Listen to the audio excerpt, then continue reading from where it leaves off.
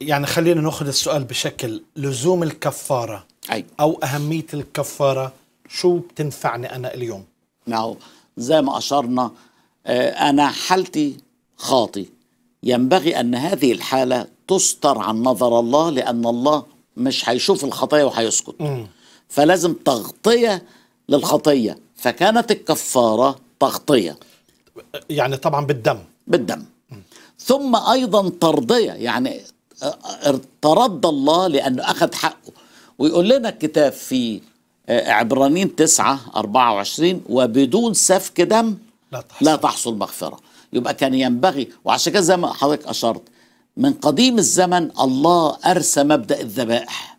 وحتى النهارده في عديد من الديانات التي لا تؤمن بصليب المسيح تؤمن بالذبيحة. وتؤمن بالدم ويحطوا إيديهم في الدم ويغمسوا أبواب البيوت. دي متاخدة من أيام خروف الفصح. ترش الدم على القائمتين وعلى العتبة العليا فأرى الدم وأعبر عنكم.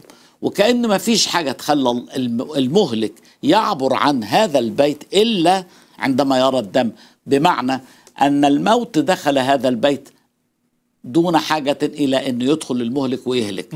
لأن في خروف الذبح بدال البكر. طبعا الخروف في ذاته ما يفديش.